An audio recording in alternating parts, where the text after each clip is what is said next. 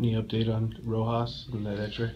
Uh, yeah, more good news. Uh, He, his thumb's broken, and so he's gonna be out, uh, for a while, you know, at least, uh, I, I don't know all, I can't remember exactly the details of, of all of it, but, um, I gotta, I think they told me he's gonna be in a cast for, you know, a couple months. Wow. Uh, so, uh, yeah, that's, that's a pretty good blow to us because he, you know, Miggy was, was obviously playing well. He brings a ton of energy to the game and also able to play so many different spots for us. And able to, you know, give different guys blows, uh, from second to first to third. You know, obviously it's short, he was playing some more steady playing there, so, uh, uh, yeah, that one obviously hurts.